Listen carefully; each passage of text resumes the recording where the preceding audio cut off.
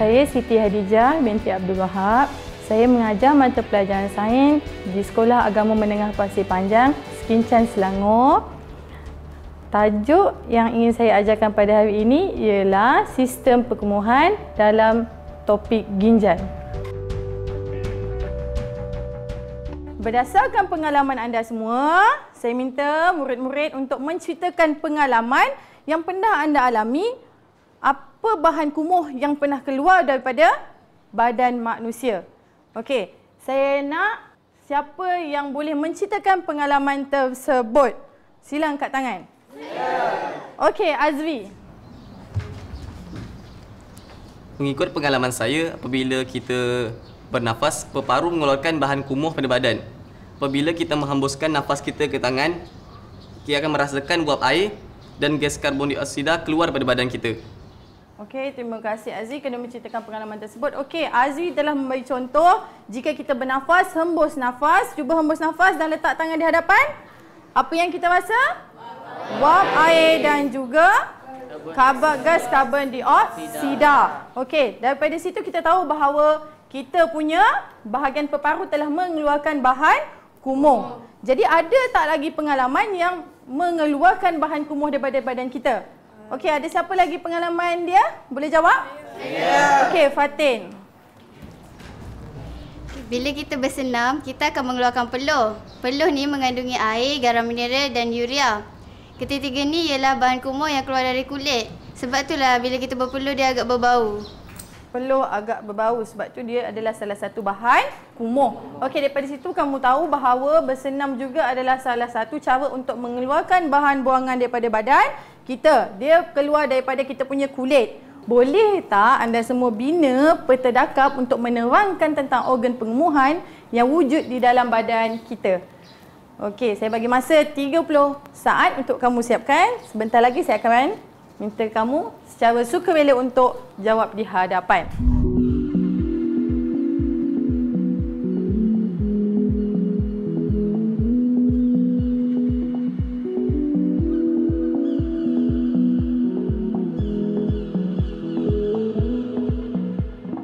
habis masa 30 saat.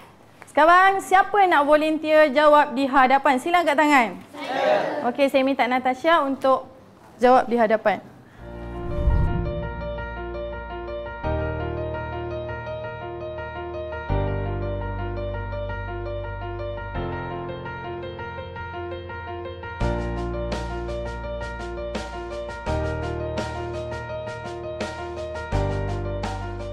Berdasarkan kita punya peta dakap ni, kita dapat lihat bahawa ada lagi satu tempat kosong dalam peta dakap ni. Agak-agaknya, apakah organ perkumuhan yang wujud lagi satu di dalam diri manusia? Ginjal. Ginjal. Okey. Jadi hari ini, itulah yang kita akan bincangkan apa yang dikumuhkan oleh ginjal, yang disingkirkan oleh ginjal supaya manusia sentiasa kekal sehat. Okey, saya minta kamu semua untuk berdiri. Angkat kedua belah tangan dan genggamkan. Dan letak di bahagian pinggang kamu. Itulah kedudukan ginjal kamu iaitu di pinggang. Sebab tu ginjal dikenali sebagai buah pinggang. Apakah bahan yang dikumuhkan oleh kita punya ginjal? Kencing. Air kencing. Apa kandungan di dalam air kencing? Siapa yang boleh jawab? Angkat tangan. Saya. Mawaddah. Air, garam mineral dan urea. Air, garam mineral dan urea. Sebab tu kita boleh tengok air kencing agak berbau sedikit. Betul tak? Okey, itu adalah bahan yang dikumuhkan di dalam kita punya air kencing iaitu kita punya urin yang dikenali sebagai urin. Sebab tu wujud sistem urinari dalam badan kita. Okey, sila duduk.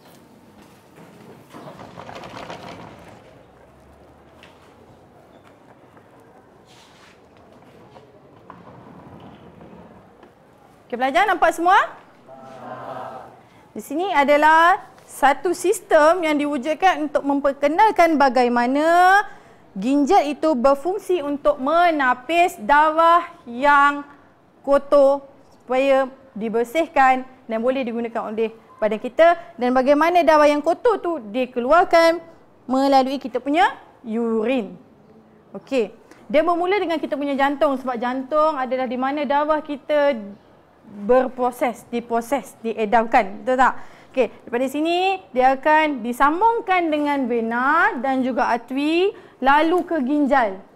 Masuk ke dalam ginjal melalui vena. Vena daripada jantung akan bawa darah masuk ke ginjal dan diproses oleh medula dan korteks. Dan seterusnya di sini ada struktur pelvis akan disambung terus ke ureter, terusnya ke pundi kencing dan akhir sekali ke uretra. Okey, di sini saya nak minta siapa yang suka rela untuk menerangkan melalui model urine eye ni bagaimana jantung dan ginjal kita tu bekerjasama iaitu sistem peredaran darah dan sistem urinari kita tu bekerjasama. Siapa yang nak terangkan di hadapan? Angkat tangan. Okey, Zikri. Darah yang berpunca daripada jantung dibawa masuk ke dalam ginjal melalui arteri. Kemudian bahan kumuhan dibawa ke dalam pundi kencing melalui ureter dan kemudian uretra. Darah yang telah ditapis dibawa semula ke dalam jantung melalui vena. Boleh faham semua? Okey, terima kasih Zikri kerana membuat menerangkan tentang model tersebut. Okey, di situ kamu nampak ya perkaitan di antara sistem peredaran darah dan juga sistem urinari. Dia mesti saling berkait rapat. Jika kita ada salah satu sistem kurang berfungsi, maka kita punya sistem badan kita pun kurang berfungsi dan kita akan menjadi kurang sihat. Itulah kepentingan kerjasama di antara sistem-sistem dalam badan kita, terutamanya sistem peredaran darah yang saling berkait rapat dengan sistem urinari Navi. Saya mendapat inspirasi untuk memilih inovasi Cikgu Zaliha ini iaitu Urine iTech. Dalam pengajaran saya dalam topik sistem pengumuhan ini adalah kerana bahan ini mudah untuk dibawa dan sesuai dengan keluasan kelas serta dia mudah digunakan untuk memahamkan pelajar. Semasa Zikri pasang kita punya sistem urinary ini, ada air kan? Sekarang saya nak lihat pula apa yang berlaku jika berlaku kekurangan air dalam badan. Jadi saya akan pasang dan kamu perhatikan apa yang berlaku. Dengar tak bunyi di situ? Macam bunyi berlaku sesuatu kerosakan. Betul tak? Jadi bila berlaku kerosakan maksudnya kita punya ginjal akan menghadapi masalah. Okey. Di situ saya nak kamu fikirkan mengapa kita perlukan air dalam kita punya kehidupan. Okey, siapa yang nak jawab? Satu yang pertama. Aisyah. Air dapat membantu proses perkumuhan berjalan dengan baik. Okey, betul. Terima kasih Aisyah iaitu supaya perkumuhan kita berlaku dengan lancar. Seterusnya, saya nak kamu perhatikan pula apa yang akan berlaku dalam badan kita dalam sistem urinari kita ni jika kita sentiasa memakan makanan ringan. Okey, saya nak kamu perhatikan ya. Tentu saya nak letak dulu air dalam kita punya jantung menggantikan darah. Jadi kita nak lihat apa yang berlaku pada darah bila banyak makanan ringan yang kita makan dan apa yang akan berlaku kepada kita punya ginjal. Okey, di sini saya ada bawa beberapa jenis makanan yang agak berbahaya untuk kesihatan. Okey dan saya akan cuba masukkan dan kita tengok proses tu berlaku macam mana. Boleh?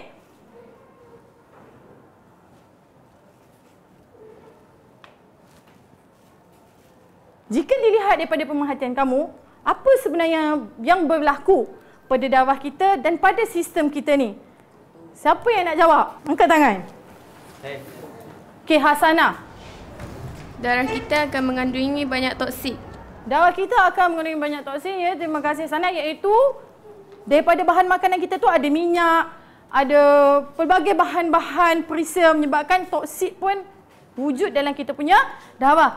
Ginjal kita akan gagal berfungsi. Dia susah nak berfungsi dengan baik. Inovasi Win iTech ini dapat memberi pemahaman yang lebih kepada pelajar kerana pelajar dapat memerhatikan peredaran darah ke dalam ginjal dengan lebih jelas dan dapat memerhatikan bagaimana bahan buangan itu dikumpulkan dalam sistem perkumuhan.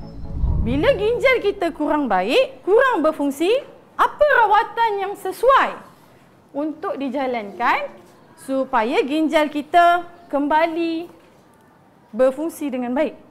Siapa yang nak jawab? Apa rawatannya? Asfizan. Rawatan dialisis. Rawatan dialisis. Okey, bagus Asfizan. Sekarang saya nak minta tiga orang pelakon secara sukarela untuk melakonkan bagaimana proses dialisis itu berlaku. Boleh? Boleh. Okey.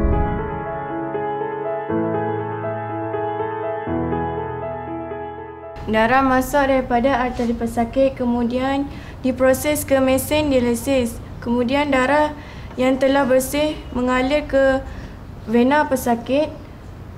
Kemudian bahan buangannya adalah garam mineral dan urea. Okey.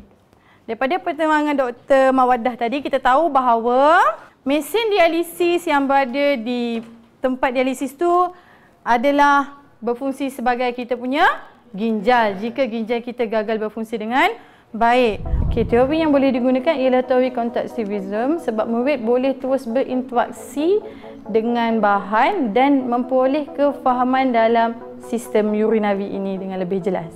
Sekarang kita akan melengkapkan peta dakap kita yang tertinggal iaitu ginjal. Apa bahan kumuh yang akan dikeluarkan oleh ginjal? Siapa yang nak jawab? Okey, Zahira.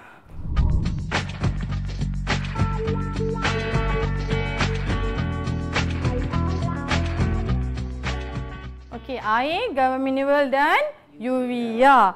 Itu adalah bahan kumuh yang akan diproses dan dikeluarkan melalui kita punya ginjal. Seterusnya, saya akan meneruskan kita punya aktiviti iaitu marker pintar. Di mana saya nak mohon kamu bina peta alih di hadapan kelas. Okey, apa yang bermula dengan sistem urinari kita? Okey, Husna.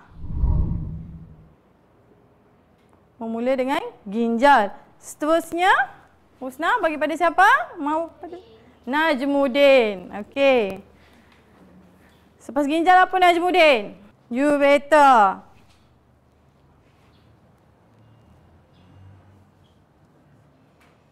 Seterusnya, siapa yang Najmuddin nak kenakan pula? Okey, alif. Lepas ureter apa alif? Pundi kencing. Pundi kencing. Sepapundi kencing. Siapa pula Alif? Aisyah. Aisyah, okey. Bagi markah pada Aisyah. Apa Aisyah selepas pundi kencing?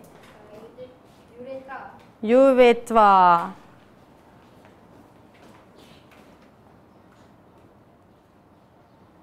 Sampai situlah kita punya sistem uri Nabi. Daripada pembelajaran sistem urinari kita ni, kita tahu bahawa tentang kepentingan air dalam badan kita. Jadi kita sebagai manusia kita perlu berazam supaya menjaga kita punya ginjal sentiasa sihat. Jadi apa azam kamu untuk menjaga ginjal supaya lebih sihat? Siapa boleh bagi cadangan?